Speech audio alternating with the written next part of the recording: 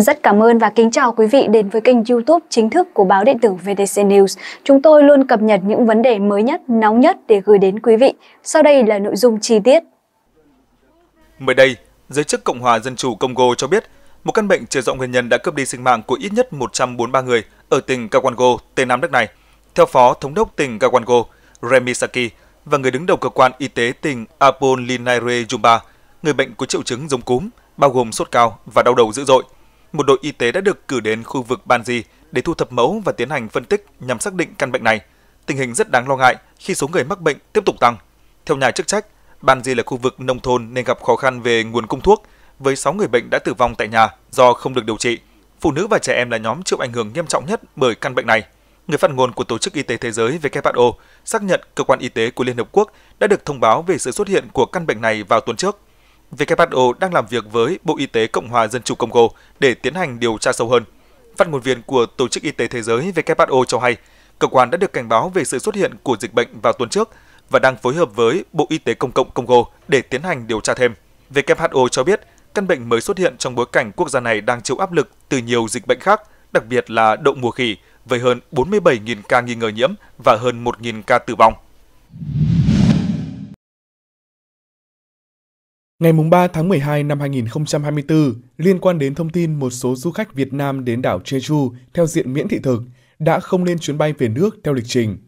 Bộ Ngoại giao cho biết, ngay sau khi nhận được thông tin, Bộ đã chỉ đạo Đại sứ quán Việt Nam tại Hàn Quốc khẩn trương liên hệ với cơ quan chức năng Hàn Quốc xác minh, tìm hiểu thông tin vụ việc. Thực hiện ý kiến chỉ đạo của Bộ Ngoại giao, Đại sứ quán Việt Nam tại Hàn Quốc đang phối hợp chặt chẽ với các cơ quan chức năng sở tại, theo dõi vụ việc, cập nhật thông tin, hỗ trợ tìm kiếm các công dân mất liên lạc, đồng thời sẵn sàng triển khai các biện pháp bảo hộ công dân cần thiết. Bộ Ngoại giao sẽ phối hợp với các cơ quan chức năng trong nước và công ty du lịch tại Việt Nam để tìm hiểu thông tin về những công dân hiện mất liên lạc.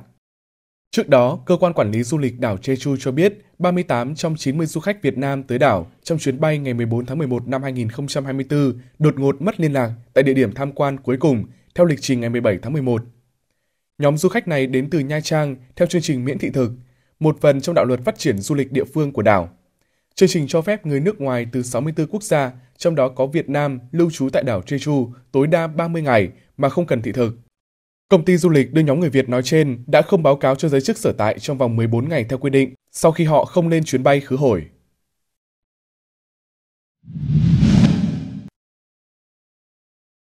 Tổng thống Hàn Quốc Yoon suk yeol đã ban hành lệnh thiết quân luật lúc nửa đêm. Quân đội tiến vào tòa nhà Quốc hội, máy bay trên khu vực phủ Tổng thống và Quốc hội. Những người dân cũng có mặt rất nhanh và rất đông tại đó. Trong số đó có chị NTH, một người Việt tại Hàn Quốc.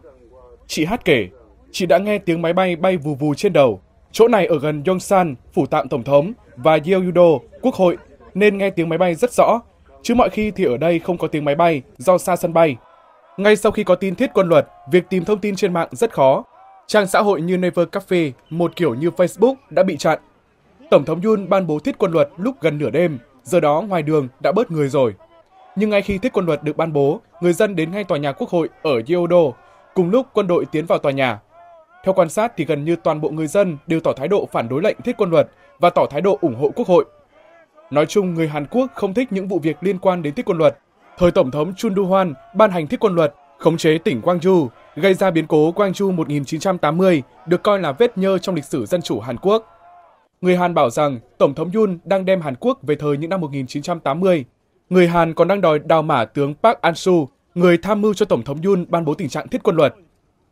Luật pháp Hàn Quốc cho phép Tổng thống ban bố tình trạng thiết quân luật mà không qua Quốc hội, nhưng Hiến pháp lại cho phép Quốc hội dỡ lệnh ban bố của Tổng thống. Đợt rồi Quốc hội tiến hành luận tội một loạt công tố viên cao cấp. Hôm qua, Quốc hội lại vừa cắt bớt ngân sách cho chính phủ. Không biết có phải Tổng thống vì lẽ đó mà nửa đêm ban bố lệnh thiết quân luật hay không? Theo lời chị Hát, đến lúc hơn 2 giờ sáng, thỉnh thoảng vẫn còn nghe tiếng máy bay, lâu lâu đảo qua đảo lại. Theo luật, khi tình trạng thiết quân luật được ban hành, quyền của cảnh sát sẽ tạm chuyển cho quân đội. Báo đài Hàn Quốc đang đưa tin là dù Quốc hội đã thông qua quyết định bỏ thiết quân luật, nhưng quân đội lại kêu chờ Tổng thống Yun ra lệnh bỏ thì họ mới dám hành động người dân thì vẫn ở rất đông trước tòa nhà quốc hội ở Yodu. Sau khi Never đã vào lại được bình thường, người dân lướt qua các comment thì thấy toàn là phản đối Tổng thống, bảo ông này chính là nội loạn, rồi yêu cầu luận tội. Giờ trên mạng của người Hàn chỉ có hai slogan, bãi bỏ thiết quân luật, luận tội Tổng thống. Với cách người Hàn quan tâm tới chính trị thì không chừng rồi sẽ lại có biểu tình. Trong khi đó, những tập đoàn lớn có văn phòng ở Yongsan, phủ tổng thống, đã quyết định cho nhân viên làm việc tại nhà. Dù Quốc hội đã yêu cầu bãi bỏ thiết quân luật, nhưng Tổng thống Yoon vẫn chưa từ bỏ, nên mọi người quyết định làm ở nhà, hạn chế đi công tác. Theo lời chị Hát, người Việt, ai không biết tiếng Hàn thì còn đỡ, ai biết tiếng là biết có chuyện xảy ra, đều đang lo lắng. Trong khi đó, Bộ Ngoại giao Anh cũng đã tuyên bố bày tỏ quan ngại trước những diễn biến tại Hàn Quốc, đồng thời kêu gọi công dân Anh đang có mặt tại quốc gia Đông Á này theo dõi sát tình hình để đảm bảo an toàn. Trong một tuyên bố chính thức, Thứ trưởng Ngoại giao phụ trách khu vực Ấn Độ Dương-Thái Bình Dương, bà Catherine West nhấn mạnh, chính phủ Anh vô cùng quan ngại về các sự kiện cùng ngày ở Hàn Quốc, đồng thời kêu gọi công dân Anh đang có mặt tại quốc gia Đông Á này cần tiếp tục theo dõi tình hình và tuân thủ khuyến cáo về đi lại của Bộ Ngoại giao Anh. Bên cạnh đó, Nga và Nhật Bản cũng bày tỏ quan ngại về tình hình tại Hàn Quốc.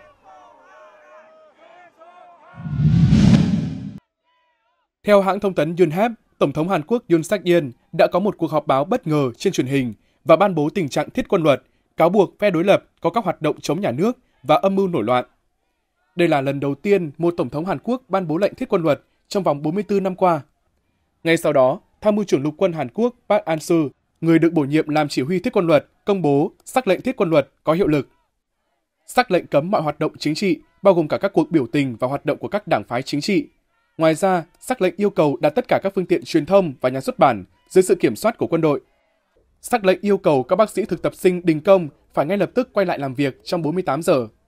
Theo sắc lệnh, người vi phạm thiết quân luật có thể bị bắt hoặc bị khám xét. Yun Hap dẫn nguồn thạo tin cho hay Bộ trưởng Quốc phòng Hàn Quốc đã đề xuất lên Tổng thống Yun về việc ban bố thiết quân luật. Theo đài truyền hình địa phương YTN TV, ngay sau khi có tuyên bố của Tổng thống, Chủ tịch Quốc hội Hàn Quốc đã trên đường tới Quốc hội và dự định triệu tập một phiên họp bất thường. Các bộ trưởng gồm Bộ trưởng Tài chính, Bộ trưởng Ngoại giao Hàn Quốc cũng triệu tập một cuộc họp cấp cao về lệnh thiết quân luật. Bộ trưởng Quốc phòng Hàn Quốc cũng triệu tập một cuộc họp với các chỉ huy cấp cao, yêu cầu quân đội tiếp tục cảnh giác cao độ.